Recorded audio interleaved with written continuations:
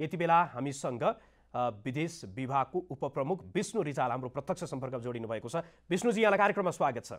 हजुर धन्यवाद छ।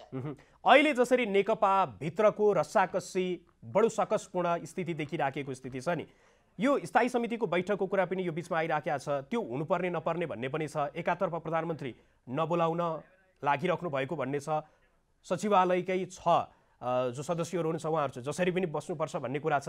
यसले गर्दाखेरि पार्टी थप सकसपूर्णमा जाने विभाजनतर्फ उन्मुख भयो भन्ने कुरा पनि आइराखेको छ। यहाँको विश्लेषण के हो?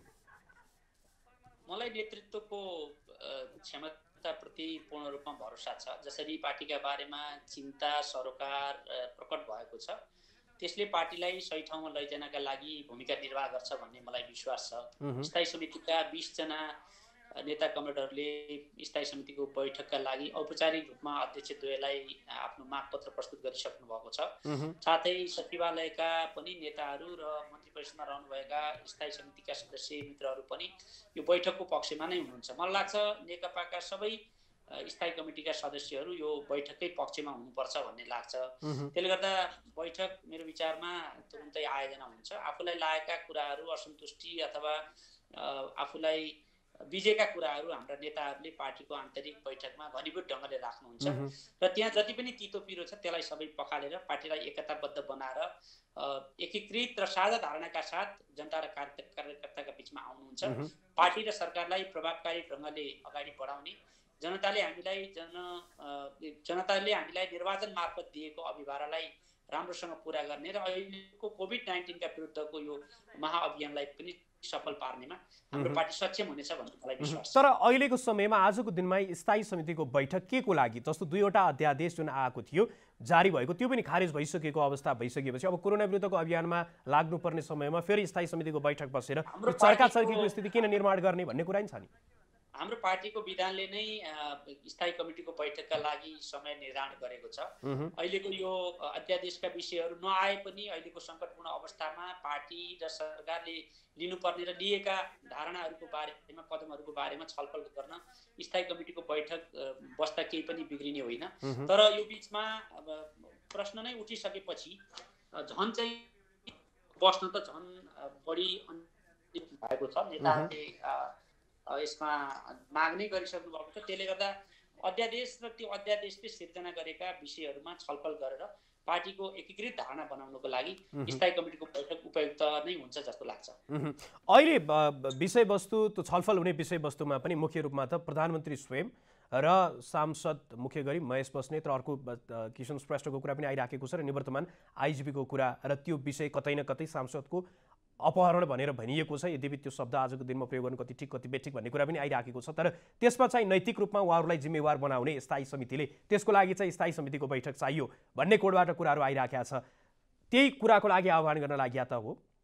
स्थायी कमिटीका बैठकका यी एजेन्डा हुनुपर्छ यही हुनुपर्छ भनेर त्यस्तो तोक्ने अवस्थामा पनि छैन तोक्ने अधिकारी पनि होइन। जति पनि यस विषयमा प्रश्नहरू उठेका छन् पार्टीसँग जोडिएका पार्टीले सरोकार राख्ने सरकारसँग जोडिएका सरकारका क्रियाकलापहरूदेखिका विषयमा जे जे विषयमा विषयहरू उठेका छन् ती सबैको बारेमा हाम्रो पार्टीका शीर्ष नेताहरू रहेको स्थायी कमिटीमा छलफल हुँदा एकीकृत राय निर्माण हुँदा त्यसले पार्टी सरकार देश जनता सबैलाई बलियो बनाउँछ परिस्थितिमा आएको अन्यललाई चिर्दछ र कार्यकर्तामा देखिएको बेमेल र अस्थिर अवस्थालाई पनि अन्त्य गर्छ। यसका लागि पनि पार्टीको बैठक बस्न अत्यन्त आवश्यक छ। भनिसकेपछि आजको दिनमा त्यो यहाँलाई व्यक्तिगत रूपमा पनि लाग्ने कुरा चाहिँ के छ? त्यो जिम्मेवार बनाउनु पर्छ कि पर्दैन? जुन यो बिचमा चाहिँ पार्टीको बदनामीको कुरा पनि आइराखेको छ। मलाई पक्कै पनि यो के लाग्छ भन्दाखेरि यसरी प्रश्नहरू उठेपछि हामी प्रश्नबाट भागेर हुँदैन। हाम्रा पार्टीका सदस्यहरू हाम्रो पार्टीका सांसदहरूको यति गम्भीर विषयमा संलग्नताको कुरा उठिसकेपछि पार्टी मौन बसेर बस्न मिल्दैन मौन बस्न मिल्दैन। यसमा पार्टीले पनि केही न केही आफ्नो हिसाबले छानबिनहरू अगाडि बढाउनुपर्छ प्रतिक्रियाहरू दिनुपर्छ। होइन यसलाई अति राजनीतिकरण गर्न खोजिएको छ पार्टीलाई बदनाम गर्न खोजिएको छ भने पार्टीले डिफेन्ड पनि गर्नुपर्छ। बाहिर चर्चामा आए जस्तै जबरजस्ती रूपमा घरबाट उठाएर ल्याएको प्रलोभन दिएको प्रहरी प्रशासन प्रयोग गरेको प्रहरीकै पूर्व व्यक्तिहरू यसमा संलग्न भएको हो भने पार्टीले त्यस घटनाबाट आफूलाई अलग राख्नुपर्छ र त्यसमा जो मान्छेहरू संलग्न छन् ती मान्छेहरूमाथि चाहिँ कानुनी तथा राजनीतिक कारवाहीका लागि पार्टीले चाहिँ पहल लिनुपर्छ। त्यसै बिचमा यही बिचमा जसरी राजनैतिक घटनाक्रम विकसित भइराखेको छ उठिराखेको अर्को प्रश्न अब प्रधानमन्त्रीले प्रधानमन्त्रीको कुर्सीबाट राजीनामा दिनुपर्छ। उहाँ चाहिँ पार्टी अध्यक्ष पनि हुनु हुँदैन त्यहाँबाट पनि राजीनामा दिनुपर्छ। अब उहाँले आराम गर्नु पर्यो र अन्यलाई चाहिँ त्यो नेतृत्व हस्तान्तरण गर्नु पर्यो भन्ने कोणबाट जुन कुराहरू आइराखेका छ त्यसमा चाहिँ यहाँको धारणा के छ?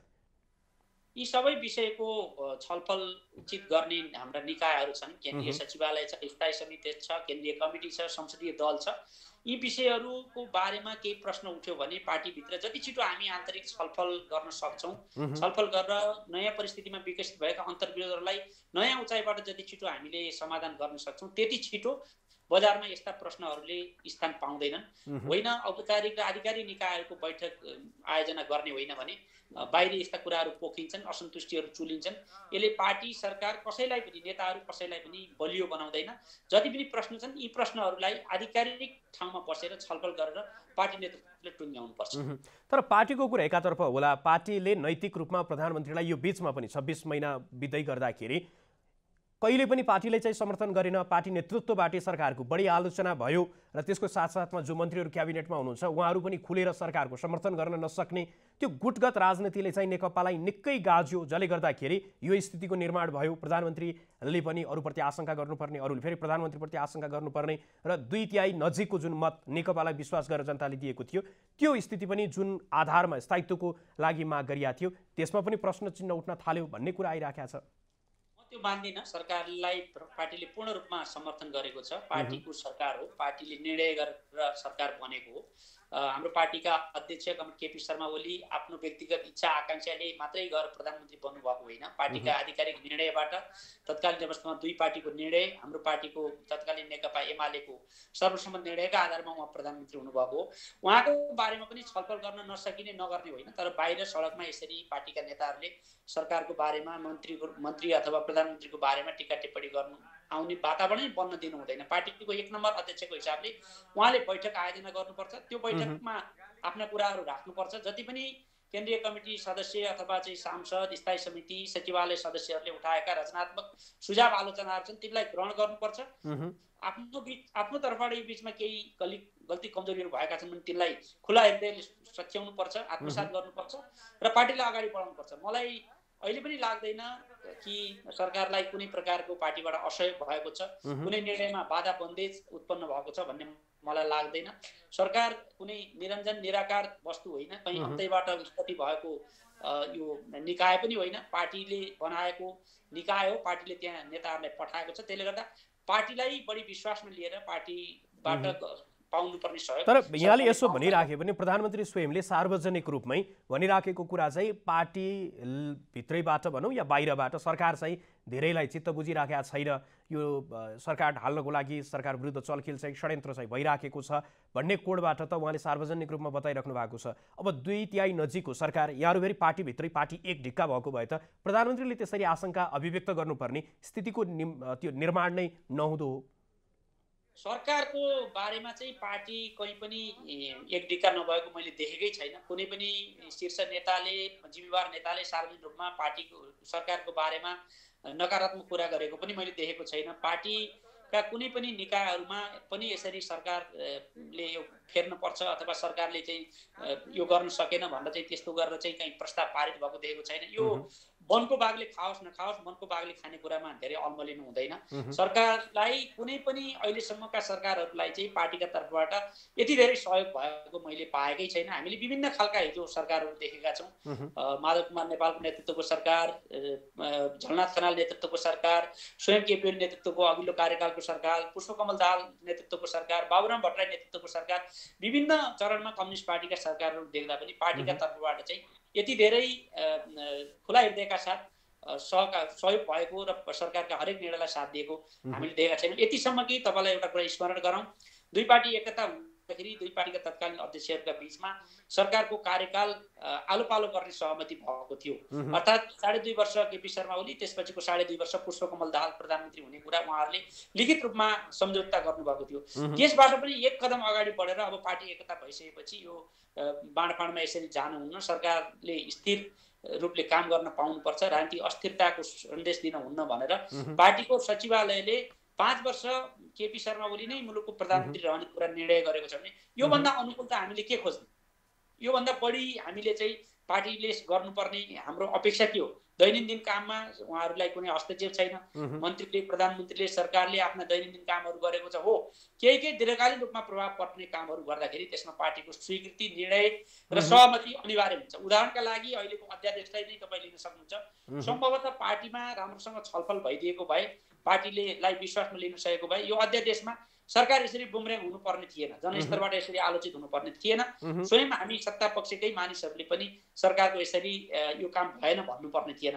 यस्ता कुराहरूमा कार्यशैलीगत कुरामा चाहिँ सरकारले ध्यान दिनुपर्छ प्रधानमन्त्रीले ध्यान दिनुपर्छ। हस् यहाँको महत्त्वपूर्ण समय र संवादको लागि धेरै धेरै धन्यवाद विष्णुजी। धेरै धेरै धन्यवाद तपाईँले पनि विचार राख्ने मौका दिनुभयो यसका लागि धन्यवाद। हस्। उहाँ हुनुहुन्थ्यो विष्णु रिजाल। जो नेकपाको विदेश विभागको उपप्रमुख हुनुहुन्छ र उहाँसँग हामीले पछिल्लो समय नेकपाभित्रको राजनीति जसरी गरमाएको छ त्यो विषयमा चाहिँ विभिन्न कोणबाट विश्लेषणको प्रयास गरिराखेका छौँ।